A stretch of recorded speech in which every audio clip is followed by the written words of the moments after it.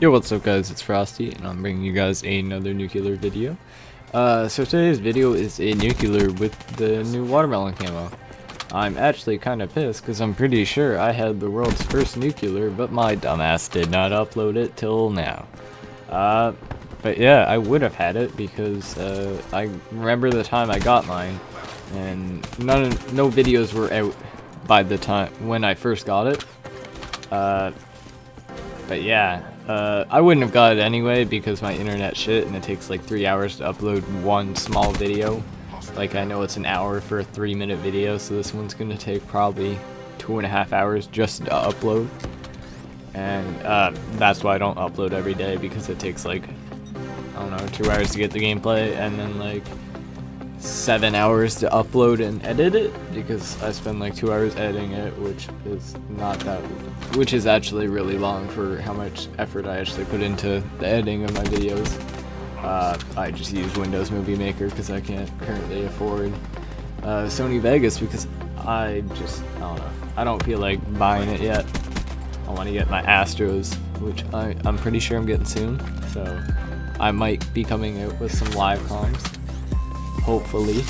Uh, yeah, other than that, I hope you guys enjoy. Uh, don't forget to like, comment, and subscribe, and peace.